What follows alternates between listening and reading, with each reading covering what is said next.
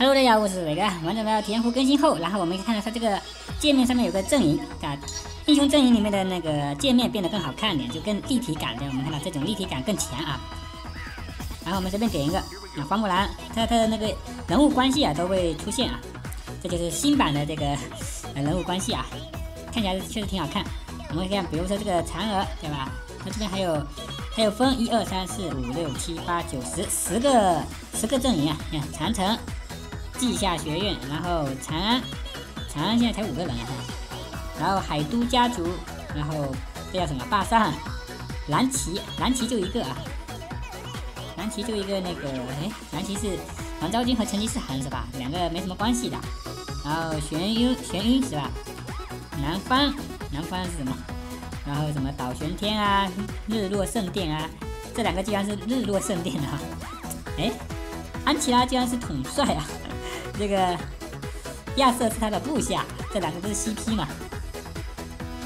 啊，他这个我们看啊，这个镜头可以这样的摇晃啊，这种立体感就非常好看啊。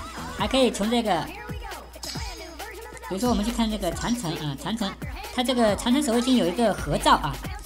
我们看到这个合照的话有语音啊，没有说我们看到，对吧？它这个就是那个每个英雄的详细信息都会记载在这里。盾山的身高二百八十三啊。伽罗一百七十二，啊，